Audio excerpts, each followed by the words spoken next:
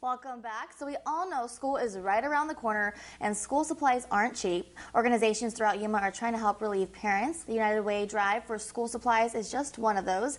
Karina Jones, Executive Director, is here to talk all about it. Thank you for joining me. Thanks for having me. Absolutely. So, tell us about the drive, just all about it. Yeah, so we've been around since 1999. It actually started with the YRMC Foundation. During COVID, its home moved to United Way of Yuma County. And the special thing about this drive is that we serve every single district from Dayton, Wellton, Yuma, San Luis, Somerton, Gadsden, everything in between. We deliver backpacks directly to the schools. You guys go all the way. Yes, everywhere. and this is the longest running drive in Yuma County. Yeah, yeah, we've been around since 1999. So even though it's changed homes, the mission hasn't changed to really get these backpacks to the kids who need it most. And I know your drive's a little different. You guys drop it off at the schools? Yeah. How does that work? Yeah, so for some schools we drop it off. Uh, other ones come and pick up the backpacks. But how we work is that we work directly with the schools. Teachers or counselors put in requests and then we fulfill those requests. So some schools get 50 backpacks, some schools get 150 depending the area, depending the need. And then we make sure that these schools have the backpacks before the first day of school. Mm-hmm. So if any child shows up without a backpack or without school supplies, they can easily just go and give it to the child that's already there.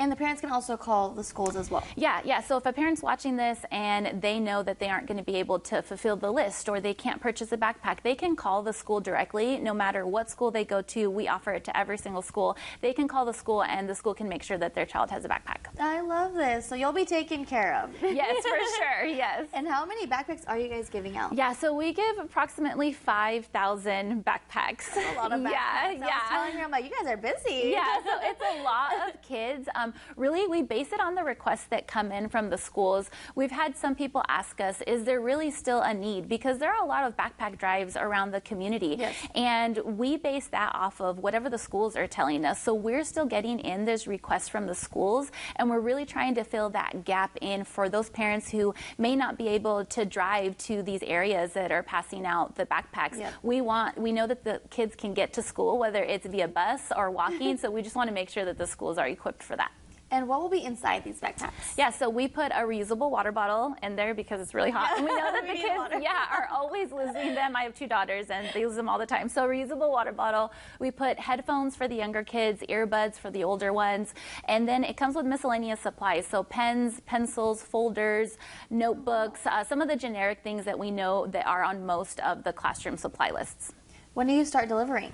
So we start delivering in two weeks. We try to get them there before the first day of school Yeah. because we know kids are already nervous, especially the younger ones when you're showing up to school. It's a new teacher, it's a new classroom. For some people, it's new schools. So we want to alleviate that, like as many barriers to learning that we can remove from those kids.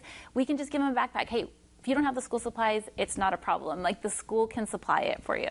Yeah, they don't need to be worrying about stuff that can that's like people the community is giving back to them. Yes, exactly. Let them worry about their school and not if they can have if they have those supplies. Right, exactly. We want to make it an even playing field. We want to be able for the kids to walk into the classroom and know I'm ready to learn. I don't have to worry about whether I have the pencil or the highlighter that my mm-hmm. teacher is asking for.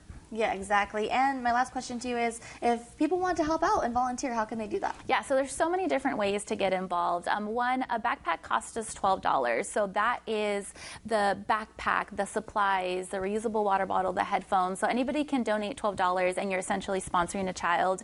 If you would rather volunteer and give your time, you can sign up on our website, which is liveunitedyuma.org slash drive for school supplies. On all of our socials, we have an Instagram, United Way of Yuma, or our Facebook. You can sign up on our socials. And um, if you'd rather donate an actual supply, we're still looking for reusable water bottles. So we've had various businesses donate reusable water bottles with their logo. Some are without, but we do still need reusable water bottles. So if anybody's Yes. out there and wants to donate some, we're always taking those too. We definitely need water bottles Yes, here in. Arizona. Is there anything else that you'd like to add? Um, I think I just want to thank the community. I mean, we've been around since 1999, and we would not have survived if it wasn't for their generous donations and not just monetary donations, right? It takes a lot of time to put this together. We're a staff of three, so we have a lot of people who come in and donate their time to sort these backpacks, to pack these backpacks, and we wouldn't be able to make an impact of, uh, to the schools if it wasn't for the community. Well, thank you for coming in and sharing. Thanks for having me. Absolutely. So I will put all this information on our website, kyma.com, so that your child will definitely get a backpack.